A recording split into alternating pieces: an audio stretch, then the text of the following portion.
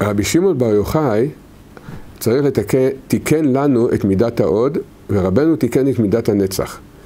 אומר רבנו ארי הקדוש שהנצח וההוד זה עיקר העבודה שלנו לפני הגאולה. והתיקון של מידת ההוד זה העצבות שמתגברת עלינו בזמני החשיכה. ממה מתגברת העצבות? מהמחשבה שהקדוש ברוך הוא עזב אותנו, שהוא לא נמצא איתנו, שהוא לא משגיח עלינו, הוא לא טוב כלפינו.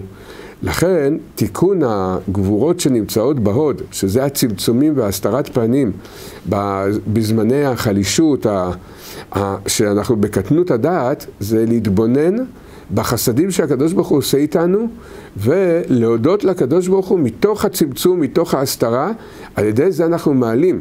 אומר רבנו ארי קדוש, מעלים את כל הנשמות וכל העולמות על ידי הבחינה הזאת. ואדרבה, אם אדם נמצא בהסתרת פנים גדולה, ומשם הוא מצליח להודות, אז הוא מעלה עוד יותר, עוד ועוד. ככל שאנחנו יותר בהסתרה, ומצליחים משם לראות שהקדוש ברוך הוא רק טוב, ולהודות לו, על ידי זה אנחנו מתקנים את הכל.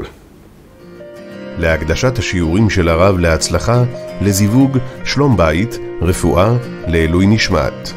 התרומה עבור עזרה להפצת התורה. ניתן לפנות לטלפון 02-650-2929. תודה רבה ותזכו למצוות. הירשמו לערוץ של הרב ויישארו מעודכנים.